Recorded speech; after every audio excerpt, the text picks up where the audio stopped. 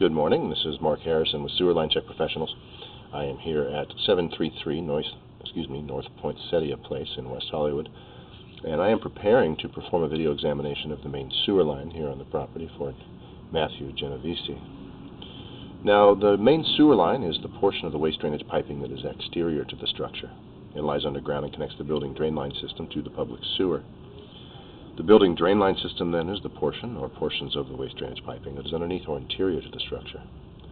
Our examination today is not focused on the building drain line system, so if further evaluation is desired regarding the building drain line system, a licensed plumbing contractor should be contacted, or a specialty building drain line video examination can be set up through our office.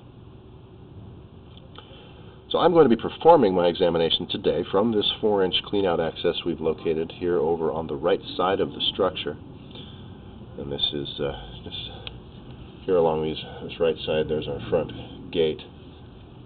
Our uh, side windows here. And pretty obvious this four inch pipe sticking up out of the ground. Now this is a uh, two inch clean out access. So what we'll do first is push back upstream and you'll see as we come this way this is the uh, pipe coming out of the structure and making that turn to head down to this location. So this is the building drain pipe that comes out. And then we'll flip the camera around, push out now through the main sewer pipe. So this is a, uh, a newly installed or a newer installation cleanout. It's not the original main sewer line cleanout.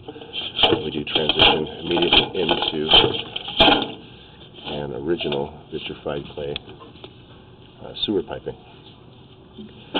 Now, these clay pipe materials, they were expected to have a long service life. Being a natural material, they aren't expected to deteriorate underground, but they are more brittle in nature and do have a higher potential for damage or cracking during seismic activities. Also, roots can penetrate these pipes and cause damage. And we are seeing pretty much immediately root intrusions at these joint areas. This is a fairly common condition in these clay lines and normally we are suggesting that these root intrusions can be maintained with regular sewer line cleanings.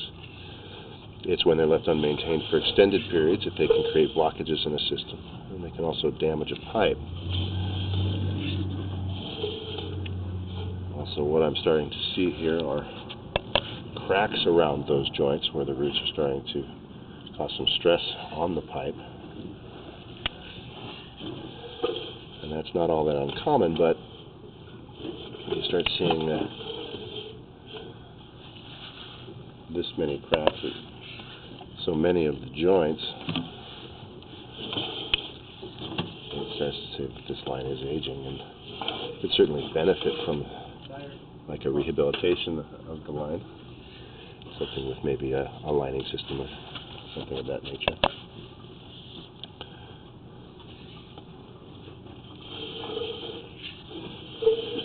So we're running straight up along the right side of the structure towards the front corner where we're going to uh, uh, jog over into the yard a few feet before we turn to run back out in a straight line out to the public sewer near the middle of the street.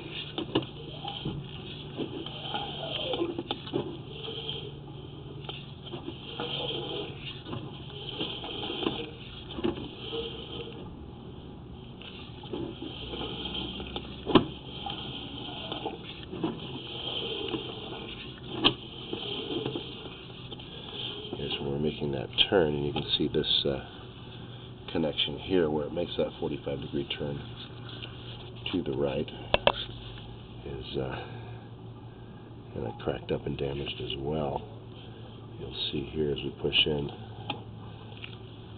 uh, the bell on that section of pipe has, has been broken. This is something a little more significant and probably should be repaired when you kind of add up all these different situations that we're seeing, especially as we continue along through the pipe here, we may be discussing more of a combination of minor point repairs like that and possibly a rehabilitation.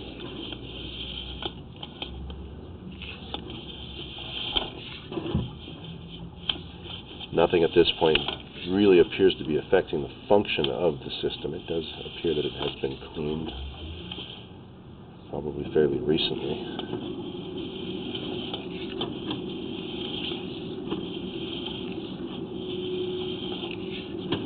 Alright, so here about 55 feet, we're getting towards the front of the property, around the sidewalk area, and we're changing to a 6-inch diameter, we're increasing in diameter, uh, concrete piping. These concrete pipes were very common uh, under the streets here in the city of Los Angeles prior to 1965. So this is a material we see a lot of. Now they exhibit similar conditions to the vitrified clay. I am seeing more cracks.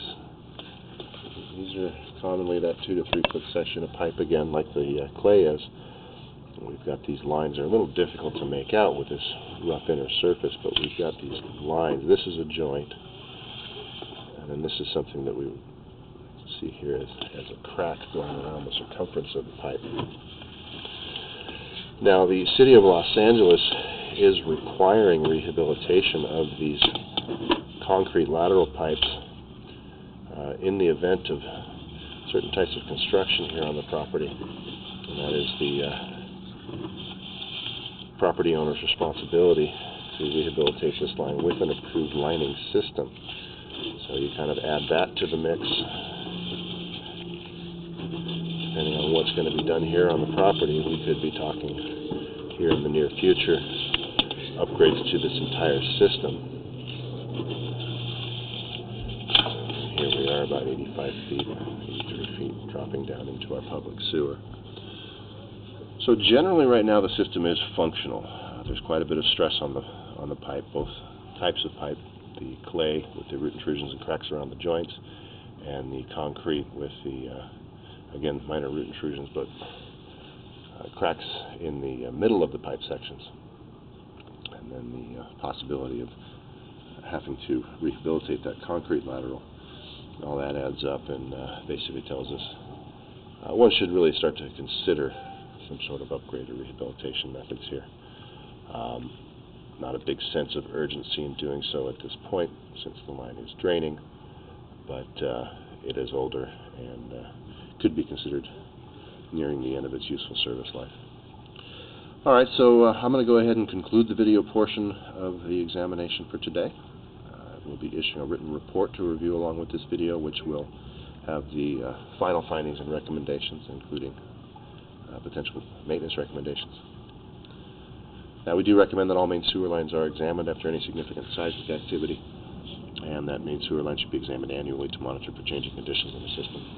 This is Mark Harrison with Sewer Line Check Professionals. Thank you very much and have a pleasant day.